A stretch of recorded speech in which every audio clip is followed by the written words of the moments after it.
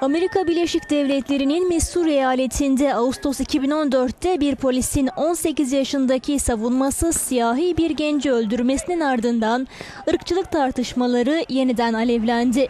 Federal mahkeme heyetinin Michael Brown adlı polise ceza verilmemesine hükmetmesi bölge halkını sokağa döktü. Özgürlükler ülkesi Amerika Birleşik Devletleri son yıllarda birçok ırkçı şiddet olayına sahne oldu. Siyahi vatandaş Oscar Grant 2009'da Oakland'da beyaz bir polisin kurşunuyla vuruldu. Trajik olay ülkede büyük tepkilere ve gösterilere neden oldu. Amerikan yurttaş hakları lideri Martin Luther King 1960'lı yıllarda siyahların oy hakkı, ayrımcılığın sona ermesi, çalışan hakları ve diğer temel haklar için öncü rol oynadı. Bütün bu haklar 1964'te çıkan Yurttaş Hakları Kanunu ve 1965'te Oy Hakkı Kanunu'yla Amerikan hukukunun birer parçası oldu.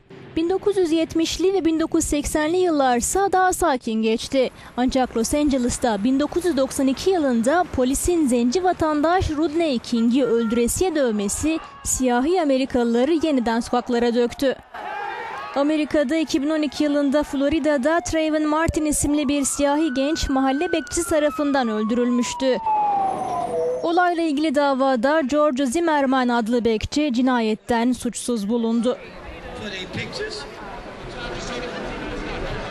Martin Luther King'in 1963 yılında yaptığı Bir Hayalim Var adlı oyunlu konuşmasından 45 yıl sonra Barack Obama Amerikan tarihinin ilk siyahi başkanı oldu.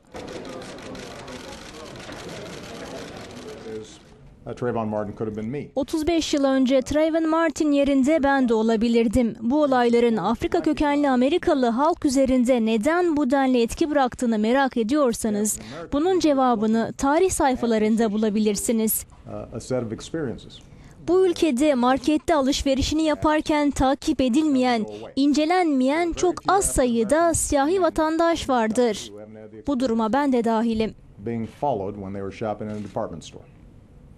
That includes me.